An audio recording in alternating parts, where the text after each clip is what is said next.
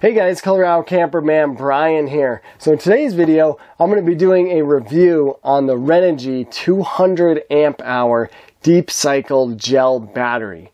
We just got back from a two night stay at Pueblo Reservoir. Uh, we camped out there where we did not have any hookups. So we relied on our battery for the last two nights as well as our 100 watt Renogy solar panel briefcase to charge us back up. So um, in the video here, I'm going to talk a little bit first about our rig and our setup that we have. Then I'm going to talk about the specs of the battery and then talk about how the battery did on our trip. Uh, lastly, I'm going to wrap the video up with a giveaway. So I'm going to be giving away three of these Renogy eFlex solar panels as well as three of these Renogy E-Lumen flashlights. So stick around till the end of the video to find out how you could potentially win one of these. So let's go ahead and get started with the review. So let's first talk about our setup. So our camper is a 2010 Keystone Hideout 27 BWE. We primarily use our camper uh, going dispersed camping or we go to campsites where we do not have hookups. So we rely heavily on our battery setup as well as on our solar panel uh, setup that we have to keep our batteries charged and keep us going. Uh, this last year, our deep cycle batteries did die on us, and so we were looking to get a new set of batteries uh, that would work well with our 100 watt Renogy solar panel briefcase. So I emailed the good folks at Renogy and asked them what would be the best battery for our setup. And they recommended their gel batteries. So I had the choice to go with their 100 amp hour or the 200 amp hour 12 volt battery and I chose the 200 amp hour. I did this based on a battery sizing formula that they have on their website. That was very helpful for me, and I would recommend you guys checking that out as well. Uh, while I was talking to Renogy, uh, it sounded like we could work really well together. Um, so uh, they actually gave me a great discount on the battery uh, for me doing this review. So now let's talk about the specs of this battery. So as of May 2019 on Renogy's website, this battery goes for about 450 bucks with free shipping, which it's pretty sweet that it ships for free because the thing weighs 128 pounds. Uh, you do need to be home or someone does need to be home to sign for the battery when it arrives. So first off the dimensions of the battery. So it's about 20.7 inches long by 9.5 inches wide and 8.7 inches high. So just as a comparison, here is a normal deep cycle battery so you can kind of see the difference.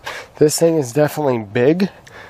If you're going to be putting it on your camper, you probably will need to modify your setup, which I will have to do here.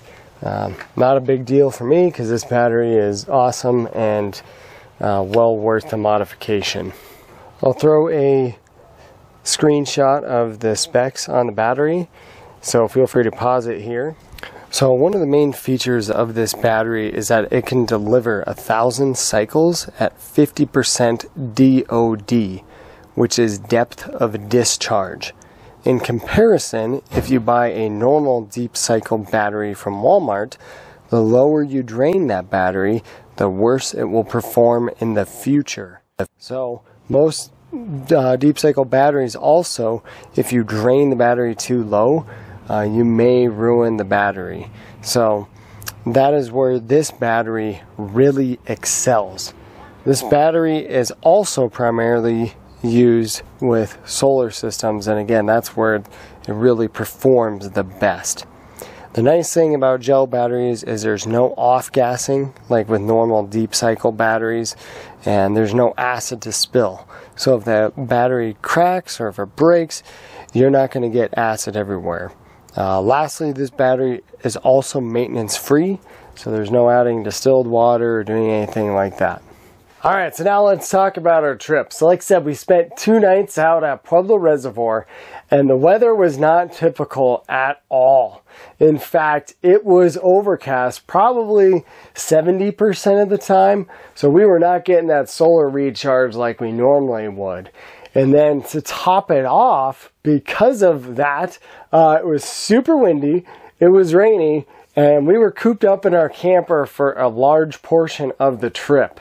Uh, we even were watching movies, which we never do when we camp, but we were stuck inside the camper because of the weather. So, um, and then to top it off at nighttime, it dropped down to 32 degrees and we had the furnace running. So pretty much literally the entire time we were out there, we were running some type of load on the battery. So as far as testing the battery out, uh, for usage, this was a great weekend. uh, not so good for, for camping, but a great weekend to test the battery out. So how did the battery do overall? Well, honestly, it did awesome. Um, one of the first things that I noticed was that it felt like we were hooked up to shore power. And what do I mean when I say that? Well, um, for instance, when we have our stove exhaust fan on, if we were to go in our bathroom and turn on our little fantastic fan in there, you would hear a drop in the stove fan. Like you would hear the RPMs kind of go down and you could tell that you turned some other type of large draw on. Uh, with this battery, there was no drop. It, uh, these fans sounded as if we were hooked up to shore power. Also, after it got dark, and we weren't collecting any more solar power coming in, um, we had watched a movie for almost three hours. We had all the lights on, and like I said, it got to, down to 32 degrees, so the furnace was constantly kicking on. And at least in our experience, our camper's furnace is probably the biggest draw on on the batteries for sure. If we would have been doing all those things with our old deep cycle batteries, Let's say our deep cycle batteries were at 13 volts. After a night like that, they probably would have dropped between 11 to 11.5 volts. This battery was at 13.1 volts at night, and when I checked it in the morning time, it had just dropped to, it was between 12.7 and 12.8 volts. So, not a significant drop at all. We still had plenty of power left, and that was with a night of very heavy usage on the battery.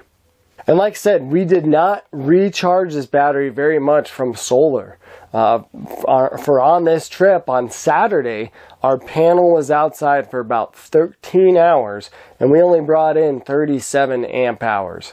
On a normal day, we're bringing in 60 to 65 at the minimum. So we were not getting that recharge like we normally would.